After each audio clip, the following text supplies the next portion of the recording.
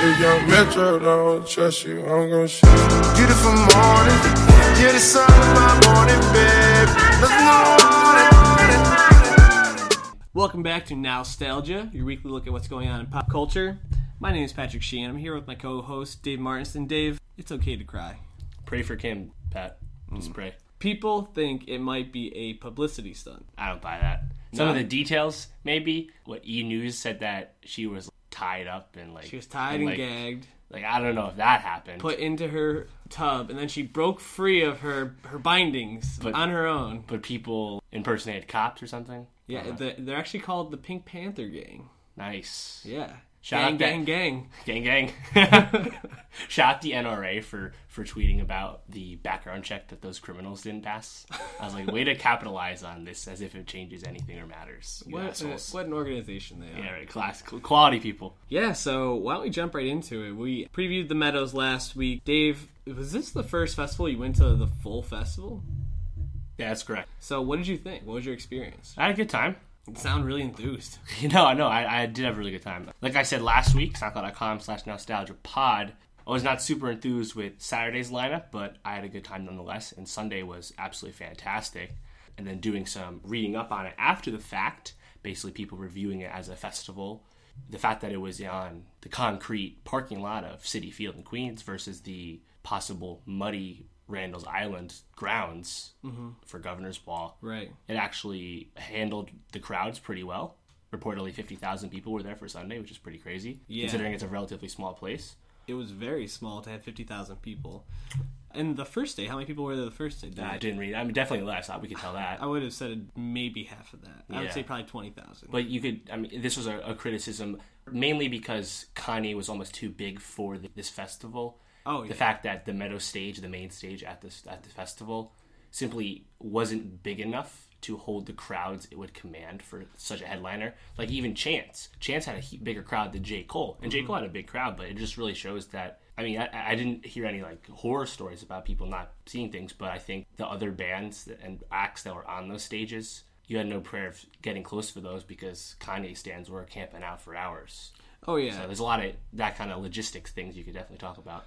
Yeah, I think there were there were a lot of problems with the lineup actually. I don't think it was balanced enough, which we were talking a little bit about last week about how there's not like a lot of rock, uh, how there's not a lot of rock. There's on just no one to pick for. Well- unless you can pay for the Foo Fighters.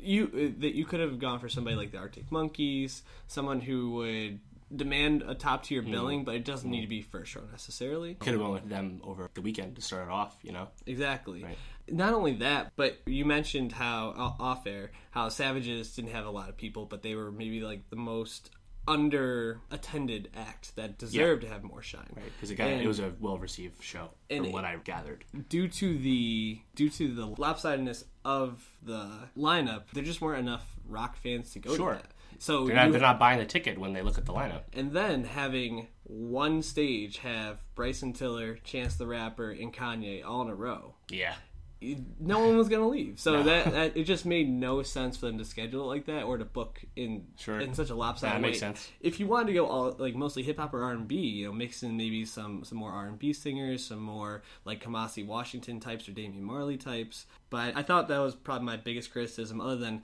some of the people in the crowd were just dicks, which you expect at a festival. But my first time around hard millennials in a while. Yeah. to be honest, I, we're we're both millennials. You're a little older than me, but I mean, people born in the '80s are millennials too. But the, the millennials I always think of are the ones that are currently like 17 to 20, Yep. Mm-hmm. 16 to 20. Those kids, and some of them were just a little too fucked up. Yep. and they're just dumb kids. And I think Kanye had a song called Be- "Can't Hold My Liquor," and that would Hmm. aptly just describe them. Yeah, there were reports from the VIP lounge of adults saying, "I'm never having kids." Just being around some of them.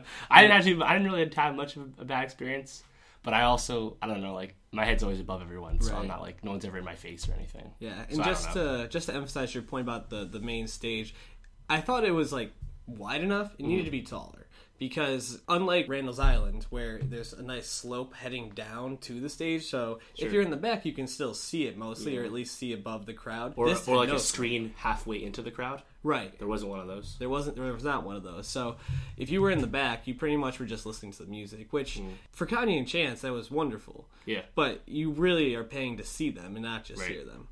However, I, I do want to jump kind of into what acts stood out to you from the weekend. I think we can both say Kanye was unreal. Yeah, Kanye was great. Now, Only 15 minutes. yeah, he started late for reasons unknown. Came out with fireworks, and he great. used the same stage setup he used at Glastonbury two years ago, which Right. is pretty sweet. Basically, all these lights shining down Yeah, on well, him. that's the thing. He those lights are still for the same Pablo tour, but mm-hmm. he's above them for that. Right. And now he just had them shining on him, and that was, I think that was really cool as they tilted Yeah. and moved, and obviously very synced. Yeah, and the video looked awesome because basically it was just an outline of him. Yeah, the red glow. Yeah. and the whole crowd was just so Yeah. into it. It Dude, was the pit it was, was, wild. awesome. The pit was fucking lit. Let me tell you you. were closer than I was for sure. But I, seeing the pictures you took, I don't think I was too much further back than you. Maybe You were just over to like, the side more. I was more. I was right in the middle. And the the group I was with couldn't have, have dealt with that. We had some small people Mm. who would have gotten crushed. It was actually interesting because being tall, the air actually was significantly cooler, a few inches above where my head is. But Yep. back where all the bodies are, it's really hot. So I could definitely see short people having a hard time. And we already were struggling waiting like over an hour in the spot because as soon as chance ended, we didn't move. We moved up as best we could and had to stay, wait for Kanye, obviously. And like people were th- in the middle were throwing us water bottles and mm-hmm. just the stag. And obviously my hydration pack ran out right as chance ended. So that was fun. Of course, good But timing. it was worth it because, like we said last week, general admission shows to Kanye are rare mm-hmm. and expensive. So Kanye comes out to "Father Stretch My Hands" Part One mm-hmm. and Part Two. Yep. Um, And- and then he played famous. So th- those three in a row. At, one point, everybody was just jumping. Yeah. And my friend goes, "Stop jumping for a second. So I stopped. You could actually feel the ground Really? moving up and down, Oh, like, wow. in waves. It was awesome. insane. proud for Kanye. As soon as Kanye came out, there was no pushing. No, Everyone was having a good lit. time and just enjoying the show, which I thought was great. Dude, that was the craziest concert experience I've ever had. And I've been to a lot of concerts the last couple of years. Insane. Great crowd, was great. It was. And then about 50 minutes in, Heartless starts. After Kanye sang about wolves, a very interesting choice that may add to some conspiracy theories. But he sang about sings about wolves, Hmm. goes into Heartless, and he goes, "I'm sorry, I need to stop the show, family emergency," Right. and he's gone. Yeah, he was flagged.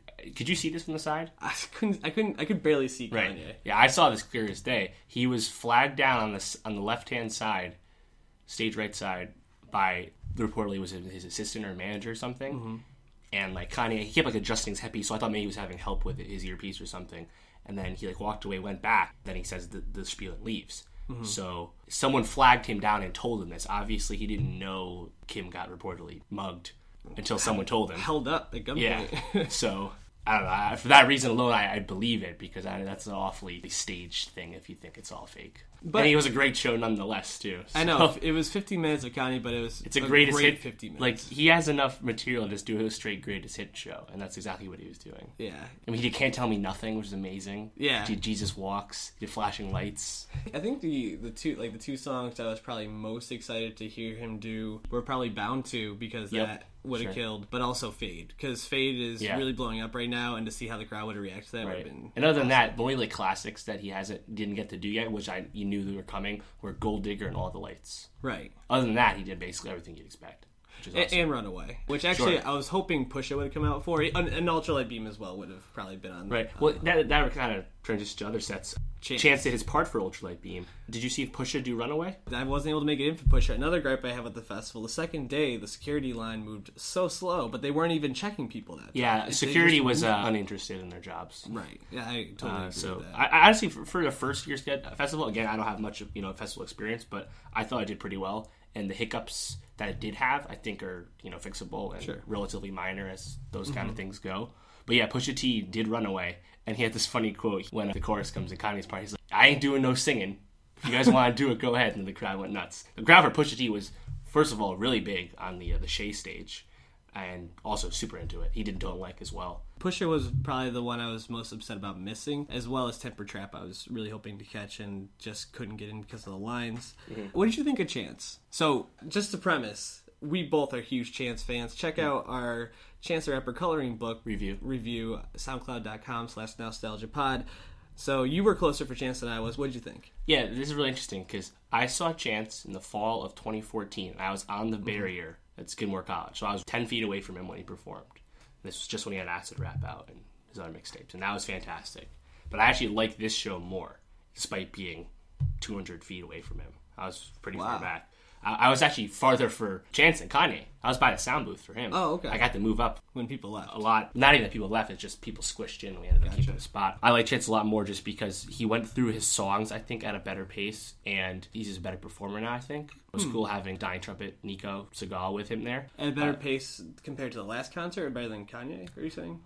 Just, I mean, I, not that he did bad last time, but I think he just went through his songs in a nice, succinct manner. It was, he did a really good job of transitioning his magnificent Mm-hmm. world coloring tour he's currently on right now. That performance, that set list into this setting, and like, you know, obviously there's there's some weird ass shit with yeah, on, the, on the, the stage. I, I did not like it all. I was out on the puppets, but every time Chance did a song, the whole crowd went crazy. Yeah, and he did every song you could have asked for. I really just wanted him to do what Kanye did and just be like, okay, I'm gonna come out. I'm really not even gonna talk. I don't even think Kanye introduced himself. He just came out and played song after song after oh, song. Oh, shout out- and the crowd fucking bumped. Shout out Kanye for going up to the people in the front for all day and don't like. That's an un Kanye like thing. That was awesome. That was awesome. Also, apparently LeBron was in the pit for St. Pablo and Cleveland on Saturday. Really? Yeah, he's on his Instagram. Wow. Shout out LeBron. That's, actually- He's not worried about security. Yeah, that, that, six that's nine. true. But so yeah, Chance, I think we both thought was good. I, I could have done without the puppets though. See, I don't think it took away from anything though. It was just him doing his thing. I guess where I was, it felt like the air really came out of it when he would transition to like the talking and Mm-hmm. like things. I get exactly what he's doing. Like, Well, he's become he's much more preachy now than he was before. yeah, and just his whole concept of you know we're kids. We have you know he's kind of banking on this nostalgia, nostalgia, and he's also trying to pull in like this idea of he's growing up and Yeah. what it means to grow up. So now. I get it, but it's just basically I just want him to be like hit after hit after hit, keep it bumping. You have a, you have an hour, hour fifteen, just kill it. Yeah, like uh, But he went late too, which I appreciated. Yeah, no, no problem was was awesome. Yeah. Mixtape was good. Push Your Man was great. Came out to Angels, which the crowd went crazy for. Yep. Actually, did not this at all. He did Grown Ass Kid, which is a Awesome. unreleased loosie that didn't make coloring book due to sample clearances. Mm-hmm. Yeah. He actually performed that, which didn't even Yeah. know he could do that. That was And awesome. the crowd was really into it during that song. Yeah.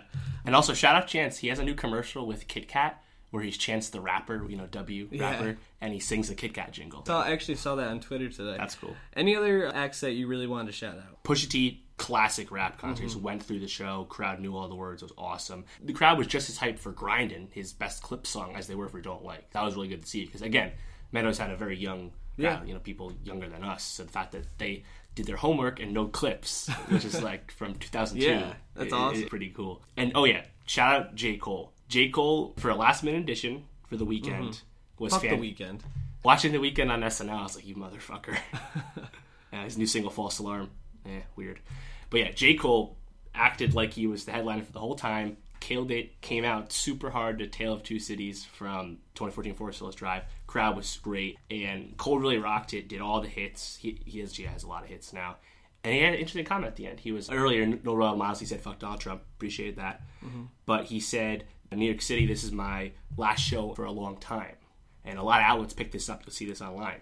So everyone's like, oh, what's that mean? Are you just in the studio for a while finishing the album? Because his uh, 2014 Forest Hills Drive will be two years old in December.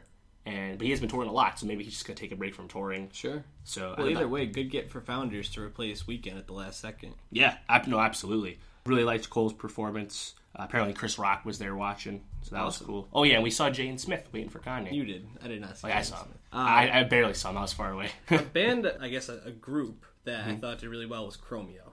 Chromeo Mm-hmm. Oh, yes. exceeded my expectations. I was I was really far. close for them. and their energy was amazing. The crowd was so into They it. They knew what they were doing. Yeah, and just the way that the whole set flowed was, was perfect for the middle of the day. So that was great. For me, another band that stood out was Borns. I, I caught their Oh my set god, after Metric. it's bored. yeah, and they and honestly You saw them during Bryson Tiller or Mac Miller, one of those around that time, Matt Mac Miller. middle of the day. They played all their best songs. I mean, they really only have one album to pull from right now. Sure. But they played covers of Elton John, Arcade Fire, into cool. David Bowie, I- I which was pretty sick. Elton John, that's that's that's a nice choice. Yeah, and the thing was is that they started playing. I was like, ah, they're, they're not gonna do Elton John right now. And then they fucking Which did Elton Elton John? Benny and the Jets, which is Interesting. a great choice. And They didn't do Can You Feel the Love tonight? no, Speaking of the Lion King, live action movie coming. great pull, Dave. We'll talk about that in a future now nostalgia pod. But yeah, Borns stood out to me. Also, Damian Marley. Do you like Damian Marley? I'm not. was- I'm not a reggae guy. Yeah, he was good. I know the song "Make It Bun Dem." That's it. Well, I mean, With Skrillex. basically, "Welcome to Jamrock" was my song in high school. However, His my dreads, dude, dude to his knees, down to his feet. it's very long. my, my favorite part of Damian Marley was his flag waver. I decided Oh, that yeah. I would love to be Damian Marley's flag waver because that's the best fucking. That's all he did. It was yeah, awesome. he just waved the whole And time. he was super excited about it too. Great Yeah. job. It was guy. awesome. Out Jamaica. Yeah, so I think overall the Meadows was a, a good first festival. I don't know if I'll be going back. I don't know if it's really. I mean, unless they get someone Kanye level, I probably won't. I'm all about lineups.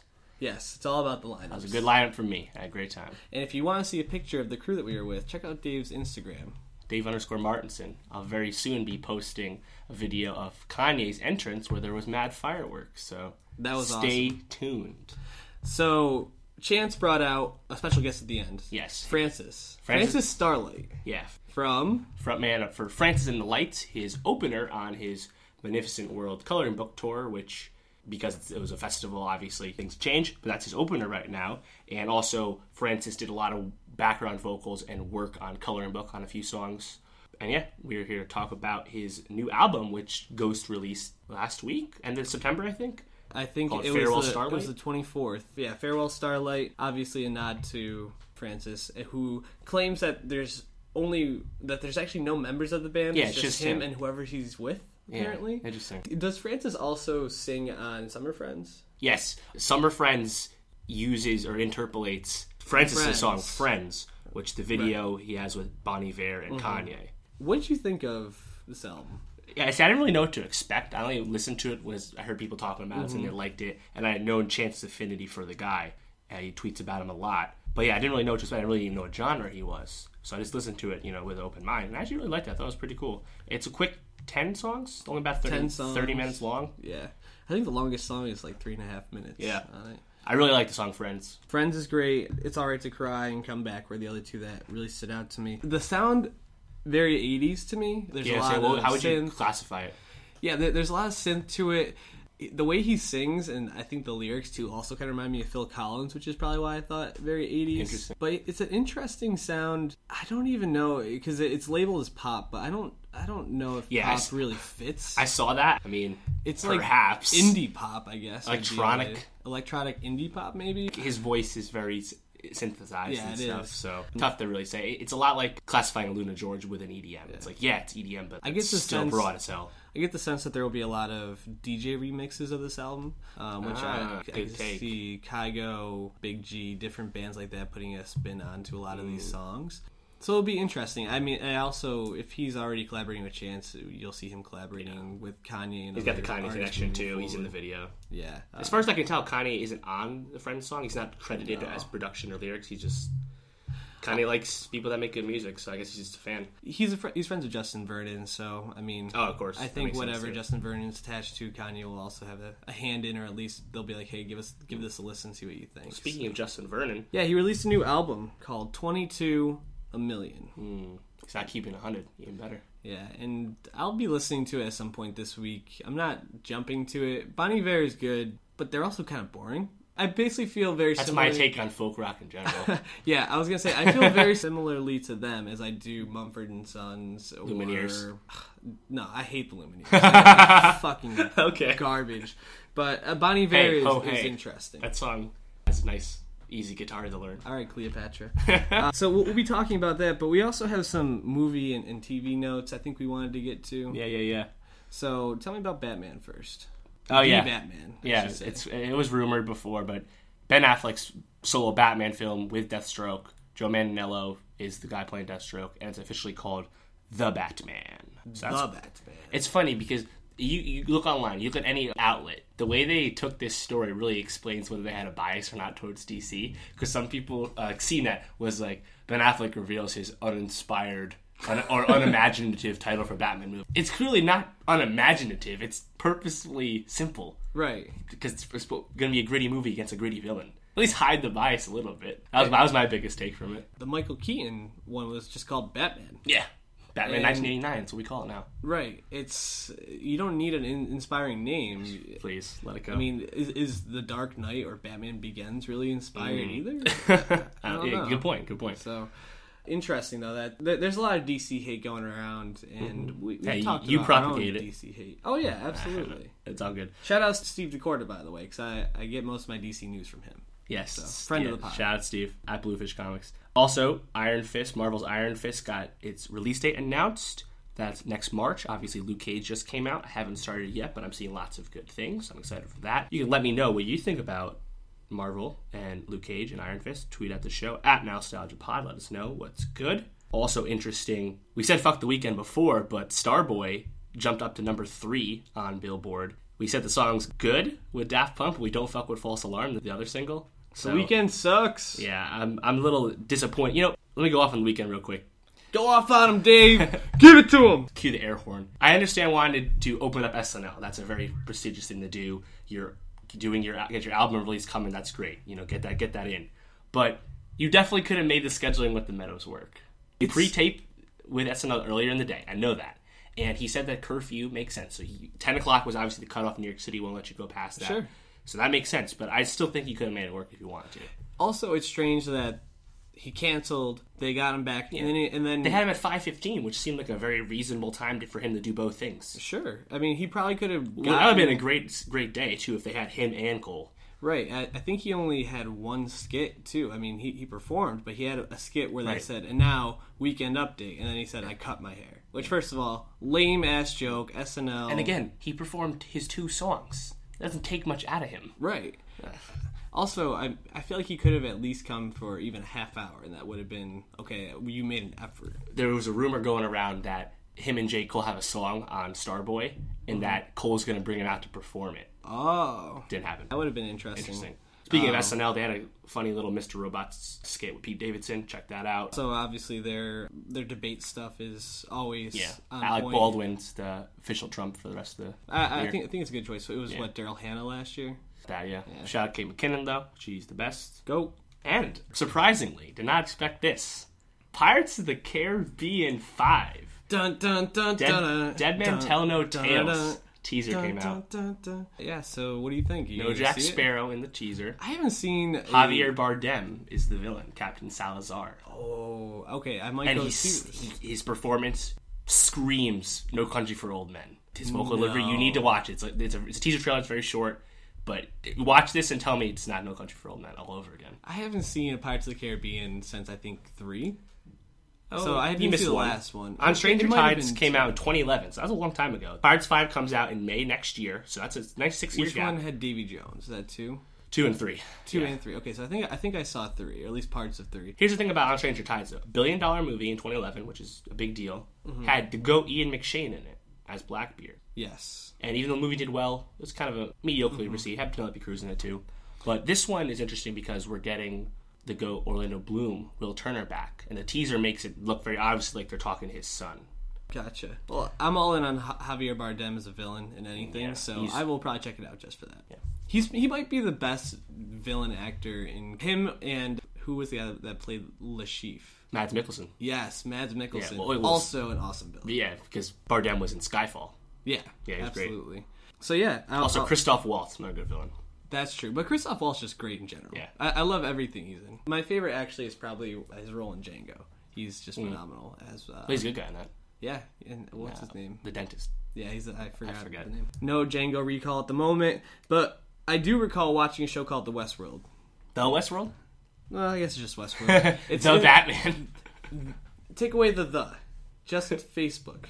Shout out Justin Timberlake. All Sean Parker. Napster. There was Napster news, but we're not going to get into that. Well, there was. Yeah, so- How is Napster still I don't, relevant? I don't know. Uh, I'm not. Yeah, I don't talk about we're not. that. It's not a tech podcast. So Westworld. I mean, this is a show that w- was signed on by Christopher Nolan and his brother. Well, J- no, this is brother. Is, Oh, but I'm pretty sure Christopher Nolan has some like. is he? I don't think so. Oh, okay, It's, well, it's Jonah. Nolan and his his wife. All right, I, I stand corrected. But J.J. Abrams Yes. also has a hand in this Yeah. as well.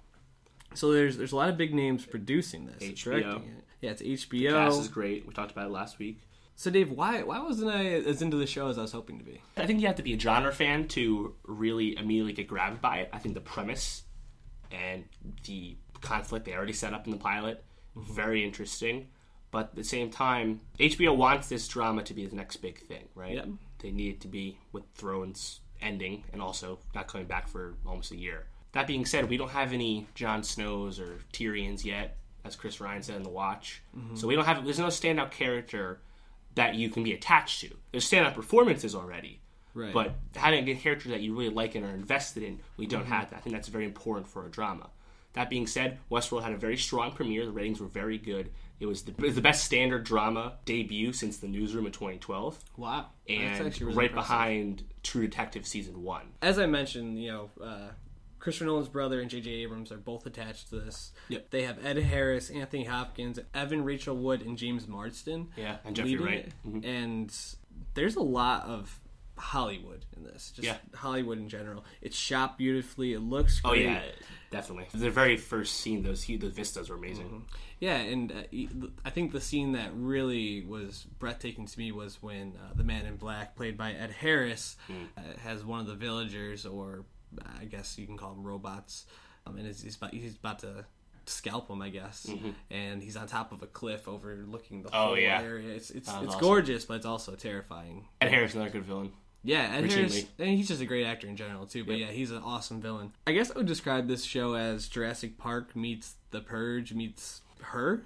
I guess. Oh, okay. I Because it's-. And Jurassic Park, obviously, Michael Crichton. yeah, it's, it's a it's a world that's being created and controlled by Yeah. some master who we don't really know his intentions fully at this Yeah. point. And then The Purge because there's a lot of it's a look at humanity and what it means. Like, is this like a, the worst part of us? Is it not? Yeah, it's really interesting because it's like people. It's like going to amusement park to play GTA in real life. Yeah, which you is- can do whatever you want. You can be a, a, a inhumane, terrible mm-hmm. person if you so choose. Right. And they hint at that with you know sexual violence and gr- grisly murders and stuff. Yeah, and then it has the element of her where it's like, can robots feel? Shout out those flies, by the way. What's that mean? Is that just symbolism, or does that mean And some she shit? kills him at the end. Does that mean she's gaining feeling? I don't know. I, I'm guessing that's what it's meaning. Hmm. Basically, these robots are becoming woke, which is really interesting. Yeah. uh, good timing for stay woke to, to be trending. But like, what do I what do I make of like the the show? It has a lot going on, and there's a lot of players. Mm-hmm. So I think right now. It, it was a good first episode because I think there was enough in there to say Yeah. this is interesting. yeah, it was very much a pilot. But we need somebody to step up and be that character that we're invested in. That we say, "Oh, this is fun." Will it be Teddy, played by James Marsden? Maybe, but he seems kind of like a sap, or not a sap, a sack of blah. Hey, like, blame the programming. It's not his fault. I don't know. Is, is Marsden a good actor? I mean, what he was You in saw Anchorman. Smallville. You saw Anchorman too. He was awesome in that. he was awesome in that, but But he's Anchorman also 2 is a dull as shit in X Men as Cyclops, Yes. but by design. But Yeah, well, I, yeah. someone has to run. Point. he was on uh, what's he on? He's on TV or something. He was on Smallville. No, he wasn't. Who was he in Small? He was not Superman. He wasn't. No, that he was uh, just like that was the other dude who doesn't act anymore. he looks just like him. He does. No, you're right. Was he on True? He was on True Blood. He's on something. I was looking. I was looking at his page today because I'm like, I remember. I know James He's so vanilla. he used to be a Versace model. I remember reading that already. That's not surprising. FYI. multiple television shows such as Saved by the Bell, The New Class, That's Touched not- by an Angel, Not an accomplishment. Party of Five. He was in. Oh, he's in The Notebook. He's in Twenty Seven Dresses.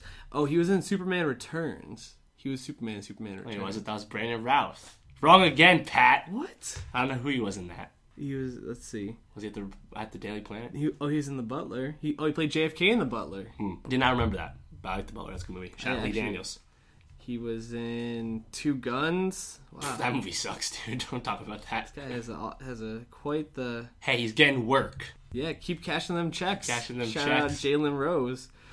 But yeah, I don't think it'll be Marsden. If anyone, I could see it being the girl that plays the hooker. Oh yeah, what's her? Yeah, yeah. Her name's like Tawny in the show Mm-hmm, or something like that. She seemed to have a lot of spunk to her. Tessa Thompson's on the way, still in the show. True, and so is the the guy, that that guy that we talked about last week, who's in everything. The House of Cards guy, yeah. Yeah. The other House of Cards guy. Yeah. Not Paul Sparks, who we know his name now. yeah.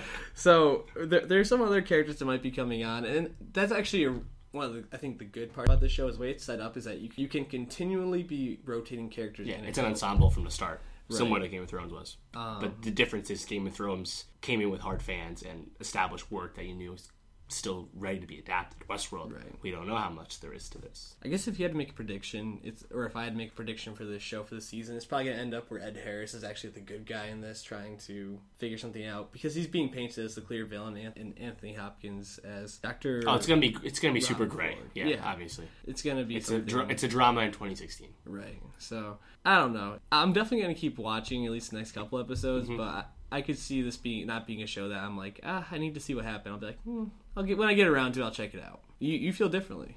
I like genre shows. Yeah, I like sci-fi stuff. you're big sci-fi. So I'm in it. I'm in. I really liked the music in the shootout scene, which that's not a spoiler. It's a show about the West. There's a shootout. The shootout scene that was, was- Paint It Black by the Rolling Stones. Yeah, just and, piano. Thought that was cool. And they also had uh, Black Hole Sun playing at one point. I thought that was a really good choice. The, uh, that was actually a great point. The music was really well done in this show. Mm. And interesting takes. I like that shows. I think uh, Mr. Robot did this as well when they did Green Day. Oh yeah, yeah. They used a Green Day song and just did piano. I think that's a really effective way to use popular music and but not have it Mm-hmm. pull from a scene. Sure. So we don't really have much left for this show. It's, it's a very Meadows heavy show. Yeah. We- let, we- let us know what you think of Francis and the Lights. Let us know what you think of Westworld. Tweet the show at NowstalgiaPod. Let me know what you think of the new Bon Iver album. I'll listen to it. Dave won't. Nope. I'll talk about it next week, though. And uh, if there's anything else you want to talk about next week, let us know. At Shooting World Peace, at Martin Swagger, at NowstalgiaPod. Find us soundcloud.com slash nowstalgiapod. Google, Stitcher. Find us on the radio someday, hopefully, maybe. I applied for PodcastOne. We don't have enough downloads. Come on, guys. Help us out. spread, spread the love. We want to get on PodcastOne. So let's start making some money here. I gotta get us on TuneIn. Yeah, that's the next one. That's free. Yeah, because TuneIn is real popular. Dude, just popular Stitcher, man. gotta get those subs. All right, well, we'll catch you guys next week. Stay woke. Stay woke. And this year's been a long round, so I gotta go. It's logic. The one nobody would vouch for. How's that shit for an outro?